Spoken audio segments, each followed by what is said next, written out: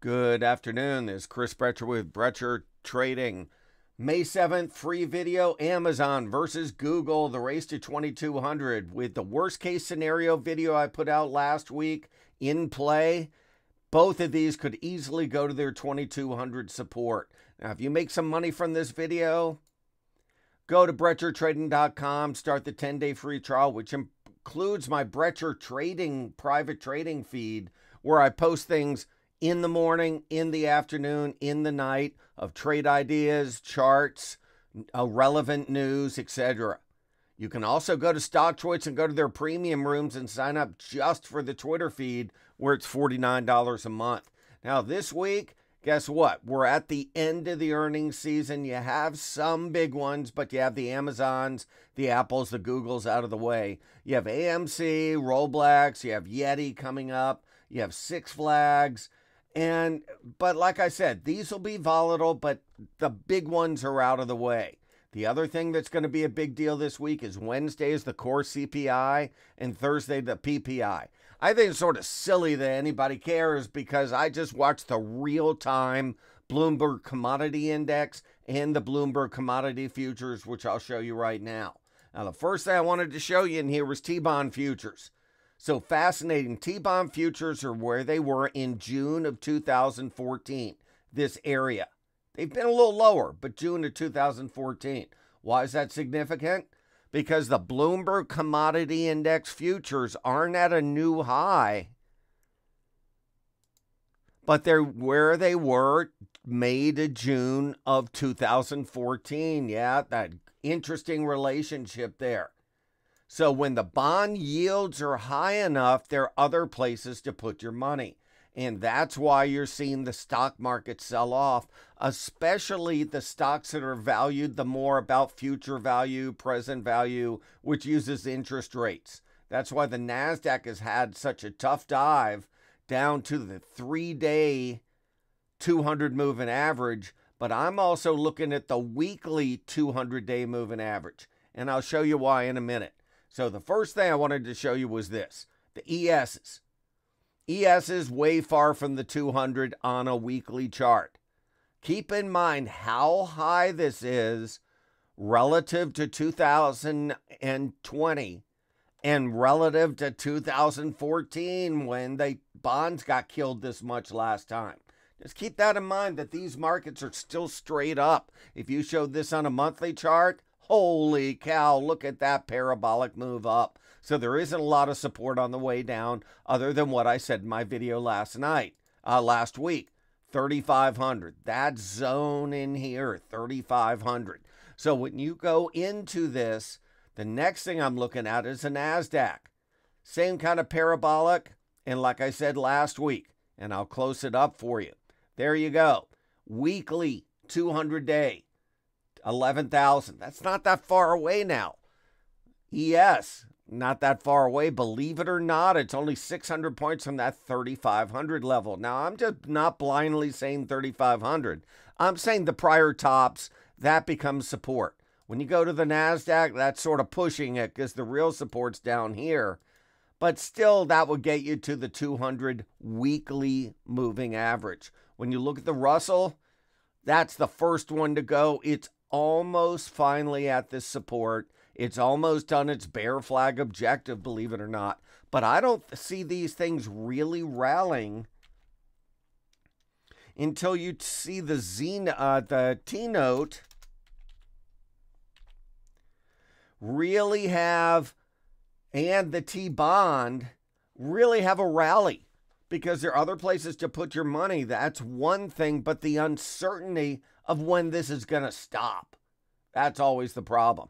Usually, what happens in these is these start going down because of the bonds.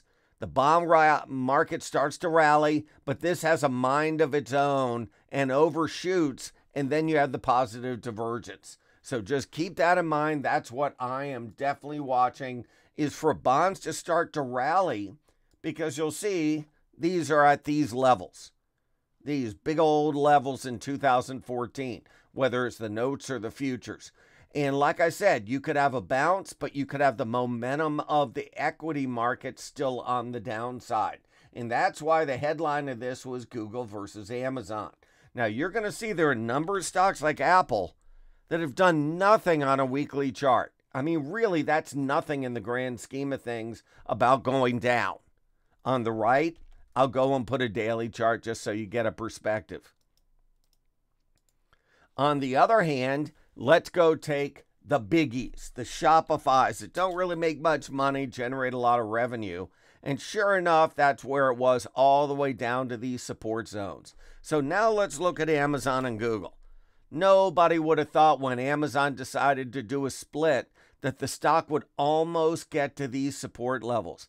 I go on the prior tops, like I said, and when you get to that,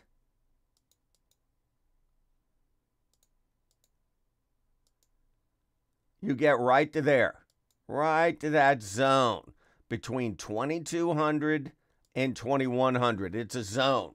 It's almost there. It's 2295. So it's almost there. Then if you detach it on here, where does that put Google? Google, everybody loved till it broke that 2560. So now when you go into here, go and put a weekly chart on the right. Now, the problem with Google is to me, they make more money, no doubt about it. But the problem is, is that it doesn't have that much support. And if you go over here and put a 200 day you're going to see it's around 2000. Now, that's the exponential. The normal one's even lower. That's the moving average simple. But to me, I'm looking at this, this little area right there. And the reason I'm looking at that is if you zoom out, there's a gap right here, right in that 2200 level. So that's why Amazon and Google could go to those levels. That's what it looks like to me. Now, keep in mind, they're splitting in a couple of months. So probably the downside then will be limited because more people can invest in it because it's uh, it's less expensive. They're doing it like 10 to 1 or 20 to 1. But still, you see these levels. And that's what I'm going to be watching. I'm going to see if this ES is going to break all the way down to here, to these levels I've talked about. And then on the right, I'm going to see if the NASDAQ can go to these levels we talked about. Now, keep in mind, that's not the end of the world, but it goes to these. Just like the Russell had all these stop uh, tops I talked about, look at these tops in the ES on the right in this area in the NASDAQ futures. It could go even lower, but usually in here, this zone in here, you have multiple zones. The big support is definitely that prior top, just like the prior top here. And then if you go into the Russell, the prior top here, where it almost is. So these could definitely have another 10% move down. ES, another 10% move down. And that would get you to good support. The whole point with this entire thing is where does the stock market go to where it compensates enough for the bond market getting torched? Say, assuming that the bond market doesn't get any worse. So those are the levels that I think compensate you enough. Now, the problem with this is the Fed wants interest rates to go up to cool off the economy. The problem is production problems and supply problems aren't going to care about interest rates, but housing will. So if they accomplish their purpose of cooling off the economy, they're going to cool off housing. And there are a lot of people that have bought houses that are 80% higher than they were eight months ago.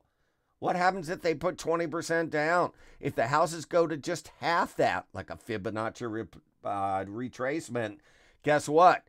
They're wiped out of their equity. So this is a very dangerous time, but I do think you're going to get a bounce in this area just because then the NASDAQ and the ES themselves bounce from levels that take into a lot of the account of the first spike in interest rates.